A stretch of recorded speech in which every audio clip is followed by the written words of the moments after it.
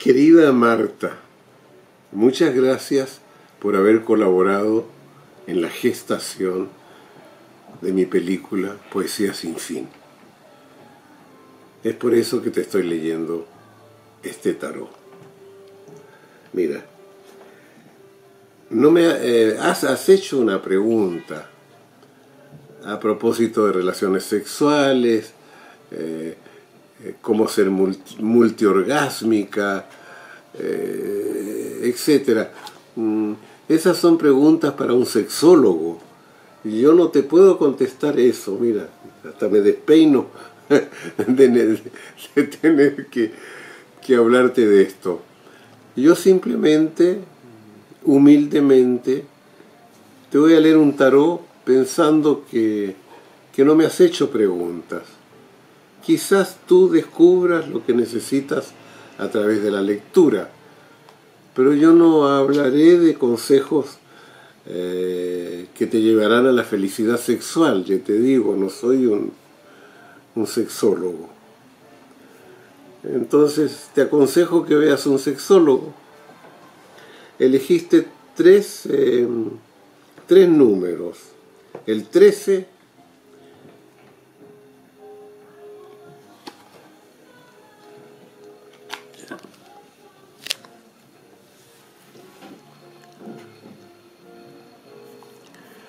el 17,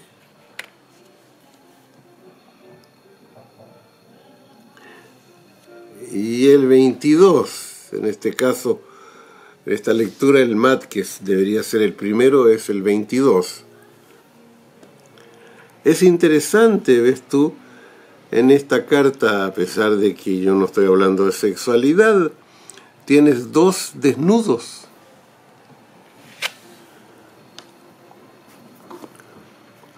El evidente es la, la estrella, que está viviendo su verdad y que está dando lo que puede.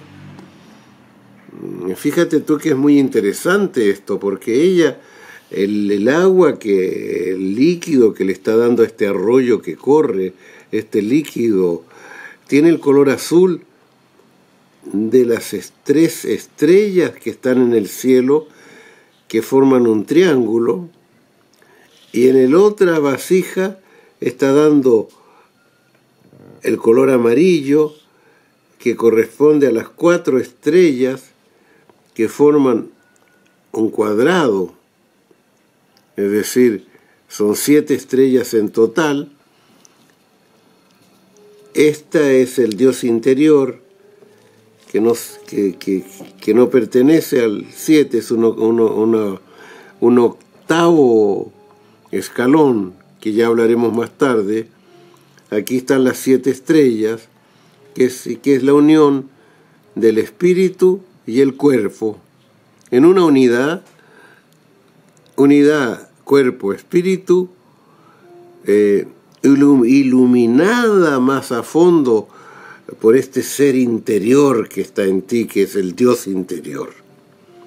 Bueno, ella está realizando esto está, realizando este deseo de, mm, de, vida. Y aquí tú tienes algo que se identifica, aunque no, no lleva ese nombre en el tarot, con la muerte. Hay un esqueleto. Claro que este esqueleto es color carne, por eso te digo que está desnudo, ¿ves tú?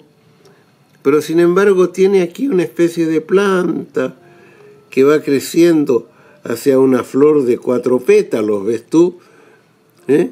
Entonces es como, como una vida latente, interna, pero que habla, que habla de, de, una destrucción positiva, porque lo que lleva este personaje no es un arma mortal, sino un arma que limpia eh, el terreno para que crezcan eh, elementos nuevos, un deseo de transformación, ¿no es cierto? Y de vida. Aquí está. Entonces, el arcano 13 está luchando contra este deseo de, pues, de cambio o de destrucción. Porque ¿qué está en el fondo limpiando y destruyendo? pues una foto, una, digo una foto, una, una cabeza mm, de mujer, ¿no? Y una cabeza de hombre, tienen corona, son reina y rey, emperatriz y emperador, mm, madre y padre. Es decir, está, está limpiando el contorno familiar por ser oscuro. Y por eso tú, tú quieres mm, que yo te aconseje sobre una felicidad en la vida sexual.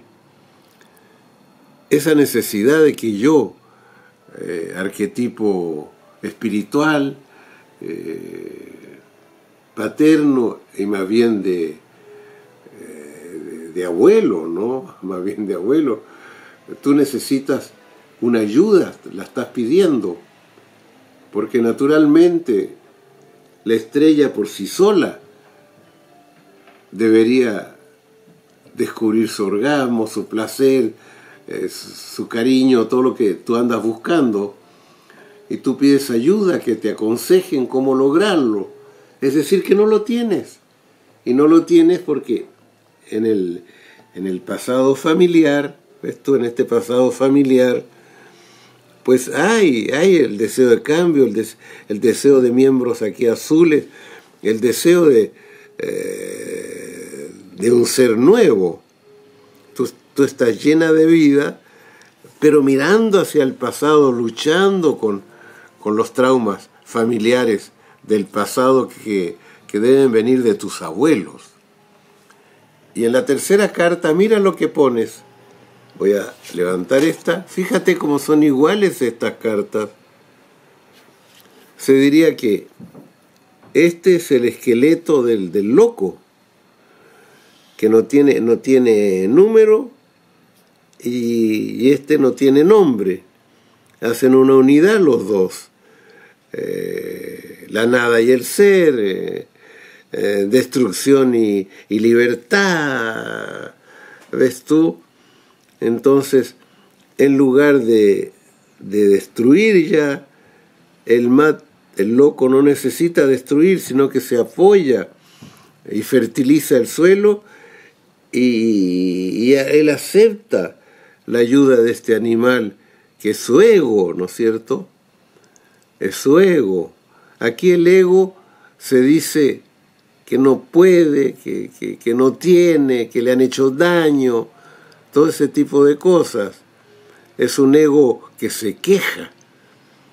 Aquí el ego ya está limpio, ya, ya es el animalito que es, simple, no es complejo. La animalidad natural de un ser humano, ¿no es cierto? Y la sexualidad natural de un ser humano lo, empuja entre las piernas y le dice, ve libre, obedece a tu deseo. El deseo es el que debe decir, no un intelectual o un pseudo artista como yo. ¿Entiendes tú? Es, es, es, este te va a ayudar a la liberación. ¿Ves? Y aquí está la estrella. Ojalá que la estrella estuviera aquí. Si estuviera aquí, esto quedaría atrás. Esta angustia, todo esto. El ser nuevo, mm, lleno de fe en sí mismo. Mm, hay como un, ego colaborador eh, que no te guía, sino que te sigue el ego y tú, el ser esencial, avanzas mirando hacia arriba con espiritualidad, ¿no? Pero con zapatos rojos, llenos de energía vital, y avanzas hacia tu realización, que es dar y darse. Esto, si no te das, pues no obtienes. Es dar y darse. Yo si fuera eh, sexólogo, me preocuparía que las personas no buscaran a alguien que les diera, sino que para recibir el placer, pues eh, se hicieran asequibles a darlo, ¿no es cierto? En lugar de yo busco que me den el placer, pues mi impulso es, es que yo doy ese placer a mi cuerpo, yo, yo permito que la posibilidad orgásmica eh, se desarrolle tranquilamente. Vamos a ver qué te puede decir agregar el tarot, ¿no es cierto? Entonces yo mezclo el tarot. la carta, la carta, la, yo mezclo el tarot, la carta 22, pues es la última, está aquí. Después tienes, la, eh, tienes el 13, 1, 2, 3, 4, 5, 6, 7, 8, 9, 10, 11, 12, 13, 13, 14, 15, 16, 17. Ahí tienes tú que el tarot te va, te va, te va a dar tres cartas para irte explicando. Esta carta te tendría que hablar sobre el pasado, de qué se trata eso que tú estás. El Padre, pues. Entonces, él va, él, él, te, tú, tú quieres que el hombre te dé eh, una increíble cantidad de orgasmos. Es lo que estás pidiendo, pero no lo encuentras, lo cual quiere decir mm, que no encuentras el amor del Padre, que no te supo enseñar. Porque el Papa es un educador también, ¿no es cierto? Él transmite, él transmite confianza en el creyente, fe en el creyente, ¿no es cierto? Enseñanza sagrada. Entonces, eso es lo que te faltaría, ¿no? A mí no me dieron nada cuando yo fui niño. Mi padre me dijo a los cuatro o cinco años, me dijo, Dios no existe, te mueres y te pudres y no hay nada. Bueno, y yo, yo, yo, me faltó la protección metafísica de mi padre, no me dio una aspirina metafísica para que yo desarrollara una fe. Después yo me fui a meditar en México con un maestro zen japonés, ¿eh? Eso duró, no sé, cuatro o cinco años, yo estuve meditando profundamente todas las mañanas. Me despertaba e iba ahí al sendo, e iba ahí a meditar. Cómo sufrían mis huesos en la posición de meditación. Pero, pero, pero hice un esfuerzo. Hice un esfuerzo para terminar, terminar y, con este pasado doloroso y aceptar un maestro aceptar un maestro, ¿no es cierto? Entonces está diciendo, antes de, querer que tu pareja sea tu maestro eh, que, va a dar, que te va a dar la felicidad, encuentra un maestro espiritual, deja el sexo de lado un tiempo necesario donde tú realmente te encuentres. Lo otro vendrá naturalmente cuando te encuentres a ver si es verdad. Aquí está la carta que va a hablar con la estrella, con tu verdad. Mira nada más. Mira lo que te sale. La carta, la carta ideal, porque aquí está el encuentro del ser esencial, del ángel mensajero del Dios interior, la gran, gran, gran espiritualidad que se abre con un enorme orgasmo cósmico religioso, ¿entiendes tú? Porque si, si Dios es lo que nosotros creemos, una fuente de energía vital, es un orgasmo eterno, Dios. Es el placer de ser total. El universo es un orgasmo continuo. Entonces aquí lo encuentras, ¿ves tú? Aquí, Pascal. Aquí, aquí tú lo encuentras y él te llama con una musicalidad y tiene una cruz aquí, ¿no es cierto? Una, aquí que, que es horizontal, estar en la tierra, el placer de ser terrestre, y vertical, en el cielo, el placer de ser espiritual. Esas cosas se, se deben unir. Bueno, cuando se unen esas cosas, encuentras, encuentras a los personajes del pasado negativos a la mujer aquí degollada con una mujer renacida y al hombre degollado con un hombre con fe. Fíjate tú que ella, bueno, mujer puede ser tu parte receptiva si quieres, y hombre tu parte activa, porque los, eh, los esoteristas le adjudicaban a la mujer la receptividad y al hombre la actividad, pero eso es de viejas épocas, porque hay un lado activo y un lado receptivo en la mujer, un lado activo y un lado receptivo en el hombre, luz y oscuridad en el hombre, luz y oscuridad en la mujer. Pero ella aquí y él son parejas complementarias. Él tiene lo que a ella le falta, ella tiene lo que a él le falta. Y entre los dos están creando una obra espiritual, ¿ves tú? Una obra espiritual hecha de que, ¿cómo hicieron a esta obra espiritual? Por una vida sexual eh, comprensiva y, de conocimiento interno y externo y, y maravilloso. Pero esa maravilla de la relación, el orgasmo, no es la meta de la relación. El orgasmo es la puerta que se abre hacia el cosmos entero. ¿Ves tú? La puerta. Crear algo juntos.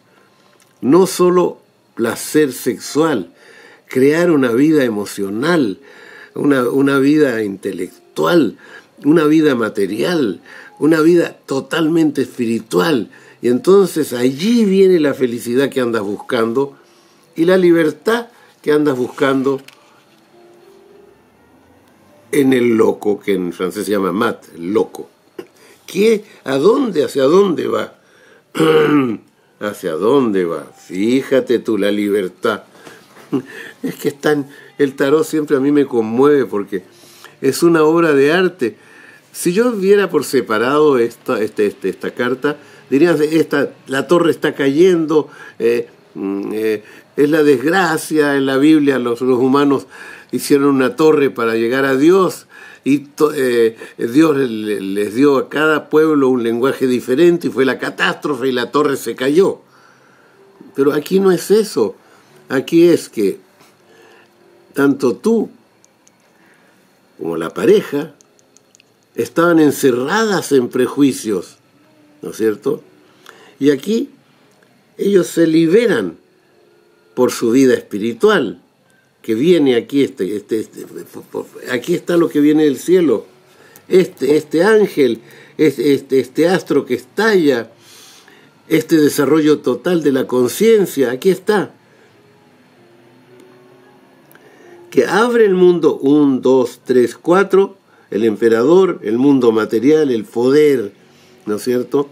Abre el poder, el deseo de poder. Tú puedes, lo que estás pidiendo puedes, pero estás en el problema de no puedo. Sí puedes. Entonces eh, viene aquí esta energía divina y te lanza a ti y ya tu pareja hacia el contacto con la madre tierra. ¿Ves tú? Es decir, es un contacto más profundo. Si la materialidad no es lo que nos cuestan, lo que nos cuentan, la materialidad es el cuerpo con todos sus poderes animales embebido del espíritu eterno e infinito. Cada célula del cuerpo es espiritual. Y cuando cada célula del cuerpo es espiritual, el cuerpo, el cuerpo asciende hacia el espíritu. Y entonces cada partícula del espíritu es material. Realización, espiritualización de la materia, materialización del espíritu. Imagínate, ¿no es cierto? un sexólogo te va a hablar en términos exclusivos de sexo, como si el sexo fuera una isla en medio de este enorme universo que somos. Entonces, No hay sexo sin espíritu, señores curas. La religión nos ha dado esta separación total entre la sexualidad y el desarrollo de la conciencia y del alma. Entonces, yo terminé dándote un consejo a lo que tú me pedías sin ser sexólogo, ¿no? Yo soy espiritólogo, espiritólogo, espiritólogo. Es que busca una realización completa de tu ser, realización material. Aprende a vivir con placer. Realización sexual. Aprende a crear con placer. Realización emocional. Aprende a unirte con placer. Realización intelectual. Aprende a ver con justeza realización espiritual, ser lo que eres y no lo que te han hecho ser los otros. La libertad es ser lo que eres. Realización religiosa divina. No buscar la divinidad en el exterior, encontrarla en tu interior. Y esa es la felicidad.